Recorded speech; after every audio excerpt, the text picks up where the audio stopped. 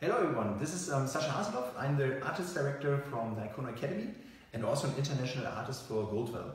And today I'm totally happy to have you here in our Icono Academy and I want to present you one of my favorite shapes we can create when we talk about classical shapes, when we talk about foundations. And that's the typical halo haircut. So that means I want to create a convex shape, which means it's shorter from the uh, shorter at the front and longer at the back.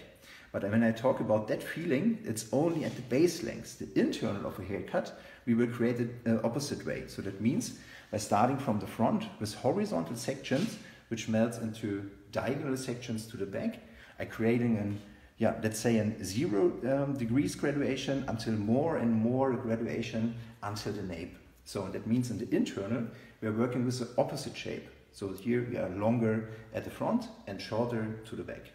And now what I have done so far is I already cut the, uh, the base length This is convex shape.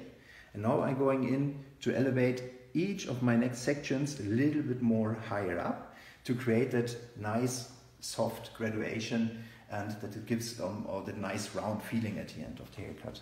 Perfect. And this is Courtney, you guys, from the Hairbrain team. If you ha have any questions, I'll pass them over to Sascha.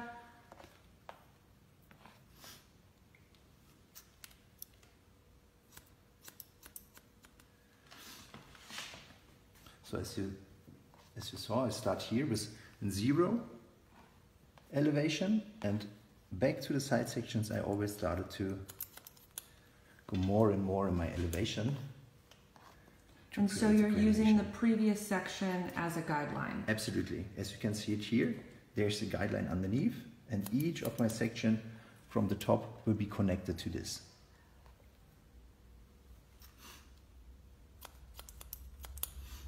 And depending of what my goal is or what my client want to have, I always think about, okay, when I want to have a more round shape, then elevate the hair a little bit more. When I want to have the hair a little bit longer to the top, then I elevate the hair a little bit more less. And that creates the difference here in the shape. It gives me a lot of individual options.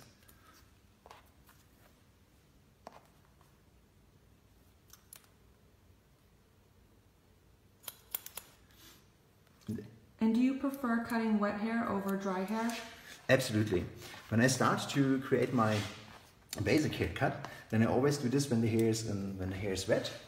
And afterwards, when we blow dry the hair, when we can see that, um, the fall of what I have created with the haircut, then I start with my finalization techniques. So to individualize the haircut, to give some a little bit more individual shapes or texture into it. So first of all, I always start when the hair is wet. It's also easier to get an overview to my sections I have to divide. It's easier to follow my steps of the haircut when the hair is wet. So now my next line. Now I start with an almost 45 degrees of elevation to get a little bit more into that graduated shape as well from the fringe or at the fringe.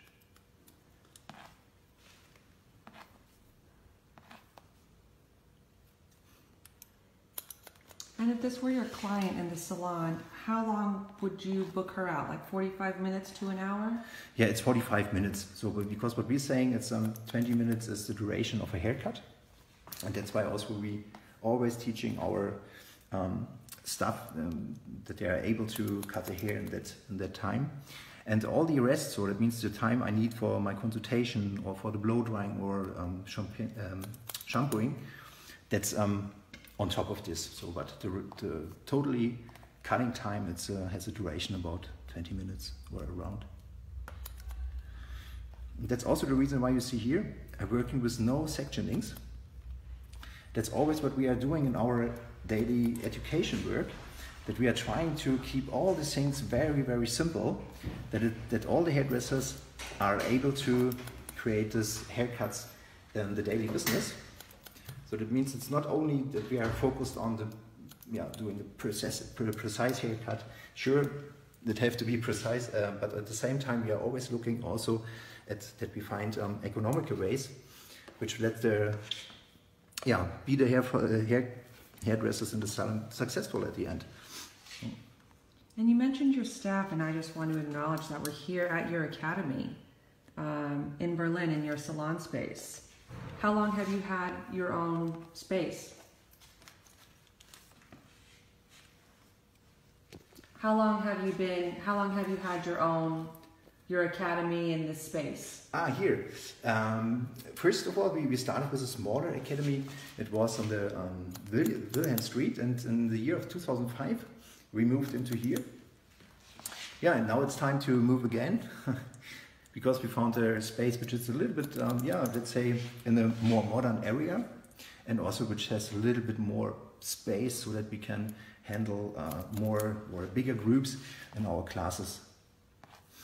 Yeah, we're really looking forward for that. Very exciting this year.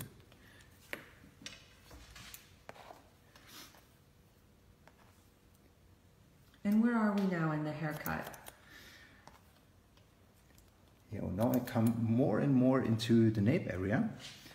And as you can see here, when I start cutting the nape, then I'm also following my head shape. So that means that I'm not only over there everything parallel to the diagonal line, I always following also my shape to the or my form parallel to the head shape to the nape because I really want to achieve that very nice and round um, uh, feeling of it. So that's why I'm really going into that head shape to the to the nape.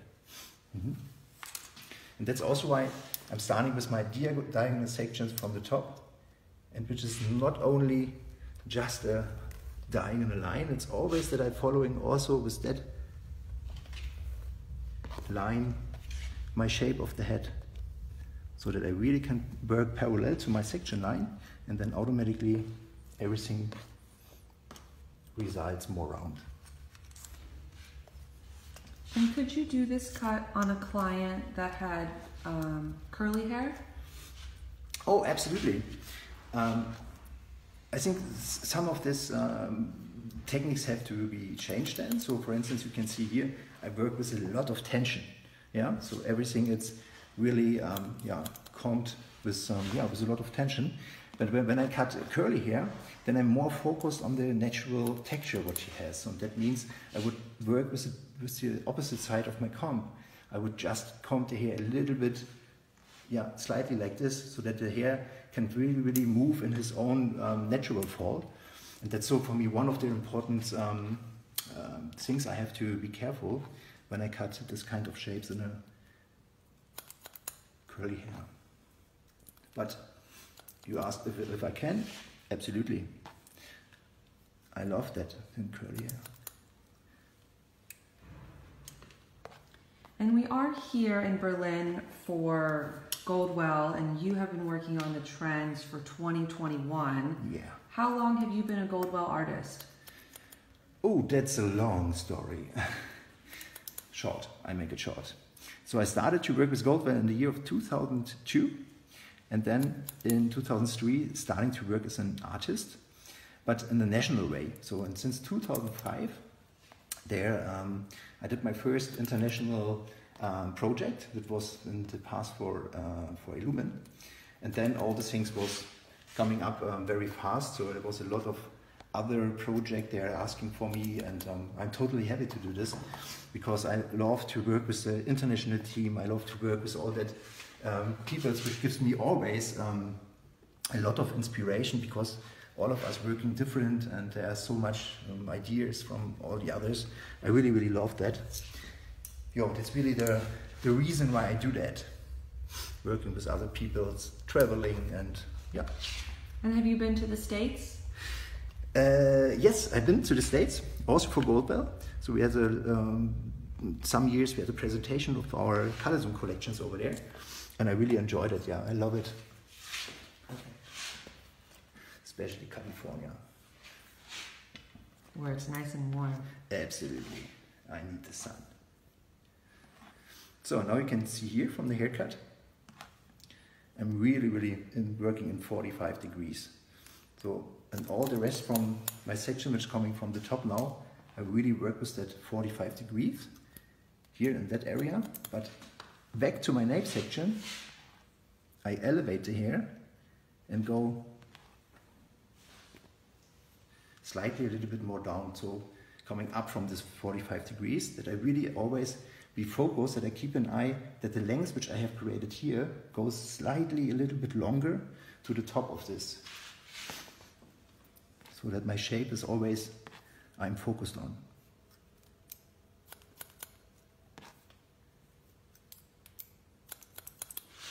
So, and for us, when we're talking about education, or when we're talking about our cutting philosophy, then for us it's very important that we not only teaching, for instance, that kind here of a haircut, we are also, or we are more focused on that we uh, teach our participants that they understand why we do this haircut in that way. Because what we really want to achieve, what I said before, is that in the salon, all the things we are teaching are variable and makes the Harris is more successful. And for that, for us, it's not on, only the reason that they understand the haircut, that they have to understand the system, that they can work in the salon with that system individually, because I think there are more than this haircuts they have to know to be successful. And that makes them really working individual. And that's also our, yeah, absolutely our philosophy we are following when we talk about our cutting system. So as you can see, I'm almost done. And I'm always still at this section, working with the rounded section lines. And then I just start to following my section line with parallel, yeah, holding. And everything is connected to the guideline. And again to the back, just go slightly a little bit deeper.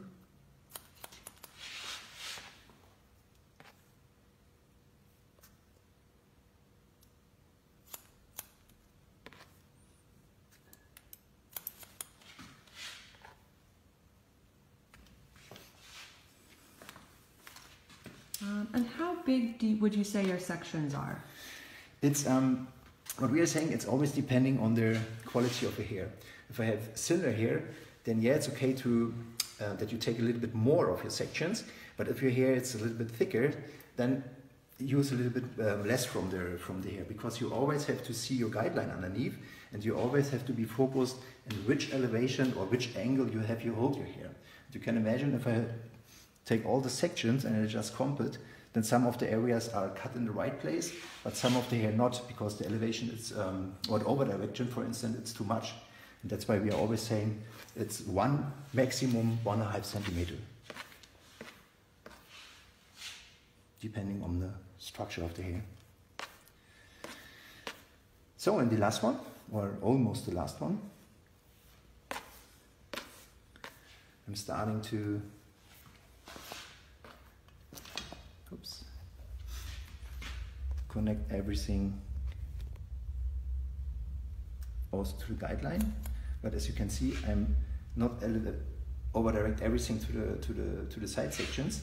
Now I go more into the middle because I really want to have it more round also at the back. If I would just work here in my side sections, then I create like a triangle here at the um, at the back, and I really want to achieve more round feeling of it, and that's why I just switch my angle here. But still, I'm following my guideline.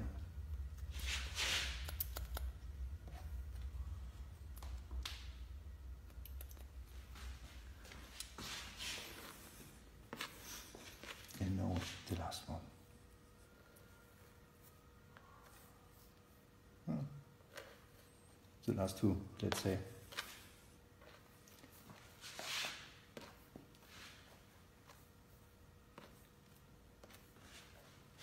And shape something you're seeing a lot in the salon with clients? Uh, it, it becomes more, especially here uh, in Berlin. I see a lot of also young uh, girls who are wearing that kind of shape. But I think in total, it is one of the shapes for us as a hairdresser, which is very important to know how I, uh, how I can create it. Because, um, as I said before, if I have this um, knowledge or the skills to cut this very nice and precise, then I'm really can yeah do also other haircuts with the same technique. where the results are still different. But it's a very classic shape. very classical for me, yeah. Very foundation, let's say.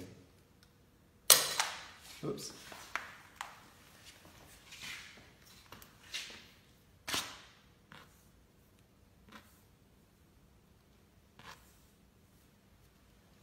Okay. So now, as you can see, I started with my almost zero graduation at the fringe and then it becomes more and more into the side or in the nape area more of my graduation and so my roundness starts to come to life. So now the next step would, would be that I blow dry the whole haircut and then I first of all start to create um, or to work in the internal of the sections. As you can see here, this very visible line in the internal, I would just elevate it parallel to the head shape and by working with a point cut technique, I make all this feeling of the flow of my roundness a little bit more softer. And that's what I do after my blow drying. And for this technique, I would start to blow dry the hair first of all with a small paddle brush. And afterwards, I always using a round brush because for me it's nice, especially when I work with that kind of shapes, to bring out a little bit more the roundness from the shape. Yeah, so that are the two steps. And for today we already done this. So that means we just switch the heads quickly. Ta-da! We have prepared already. And here you can see what I mean. So everything is nice and round. And what I love on this haircut or also on the on the texture of the haircut that it really have that very slightly or easiness in the haircut. What I don't like is when, when you work with some, yeah, let's say too much products in it, when it's everything very glued or something. So I really love that when you shape the hair, that everything looks nice graduated. Yeah. So that means also for me, for my finalization now, I just go in, started in the, starting in the top of the section and elevate the hair parallel to the head shape.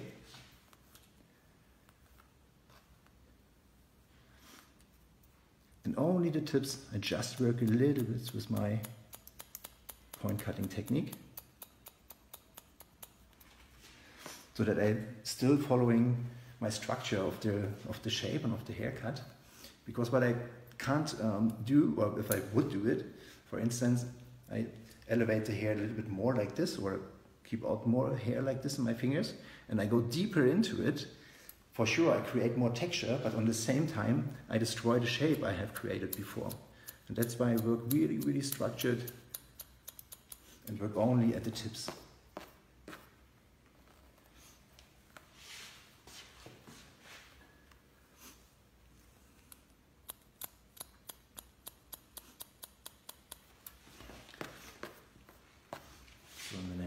I just be focused also on the on the outlines. And then it is. And before we end, where can everybody find you on Instagram? Where can they find you online? Yeah, you can find us on Instagram with our name. It means it's Icono Academy uh, Berlin. Um, or also on the internet on um, www.icono.de. And there's a, a, sl a, slide on the on the bottom, which means it's Academy.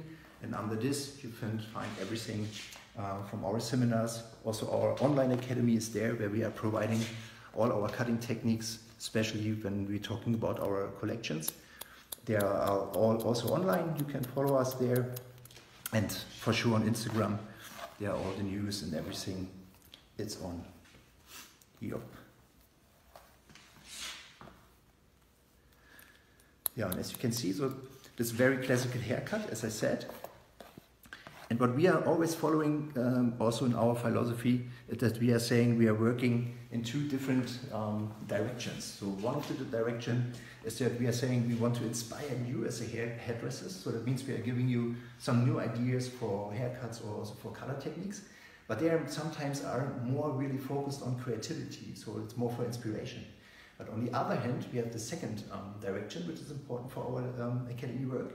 Is that we are always focused on what is important, what you need as a hairdresser for your daily business in the salon. So that means, as I told, the haircut has to be done in a certain time, or also all the other services we are creating, and we are always um, yeah, planning a certain time to it that you are able to do it really in a successful way in the salon. And so in this both ways, I think that makes our work and our philosophy also a little bit more special because it's not only the creativity, it's also that, that we really want to work on that point what makes you successful. So, and then at the end, I just work at the outlines. And as you can see, because I have nothing done here yet, but as you can see, we created first of all our haircut without any elevation, so we was more focused on the outlines first, and then we started with the graduation by elevating everything. So there you can see that it's not so much to cut now, it's just to clean it up a little bit in the way you love it. So that means you also can, for instance, cut a little bit more from here to follow more that roundness of the shape to the back.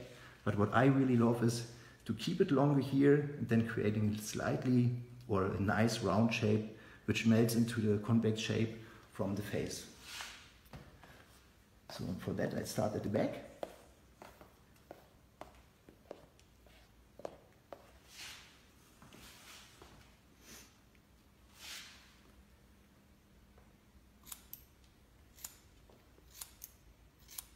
And starting from the longest point into the shape to my shortest point. So from long to short.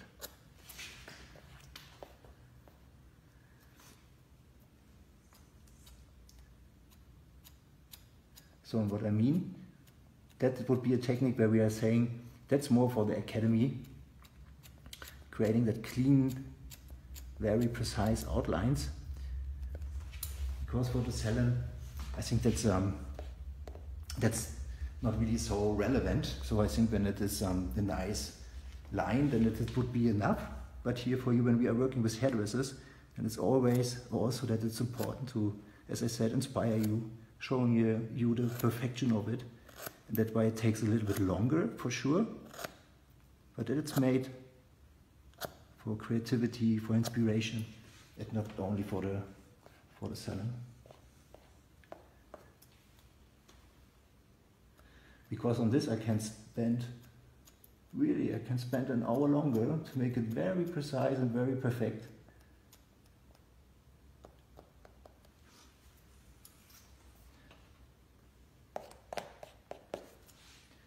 The I think it's not that necessary.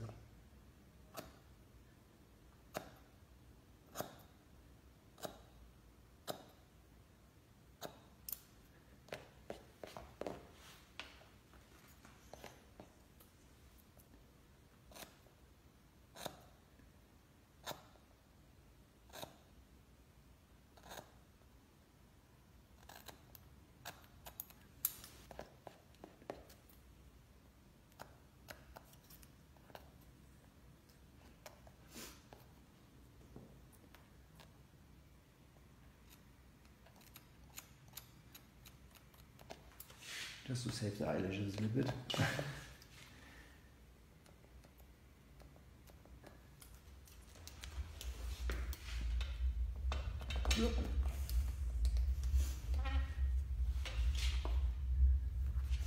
Yeah, I think that looks quite nice.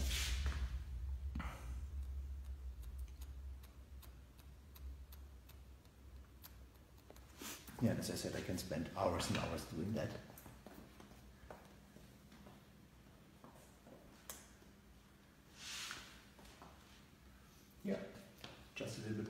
Side from the fringe. You can see here from here until here, there's also a little gap in between. Not gap, part which is a little bit longer.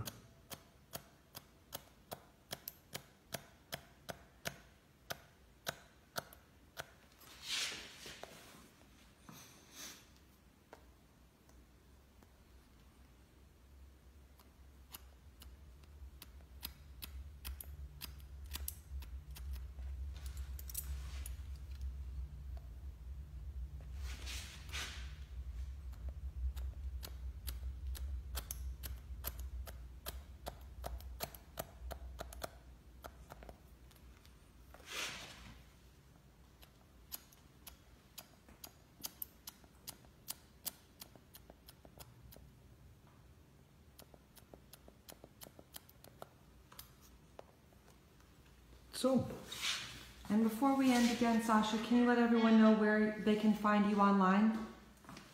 yeah, you can find us um, online on our Icono site on, on www.icono.de, and there you find um, our um, ac- um, economy, uh, not economy, or academy um, way, and there you will find everything. So all our seminars, you find our online academy there, and yeah, and all what you what you need, which is necessary to know about us. Perfect. Thanks so much, Sascha.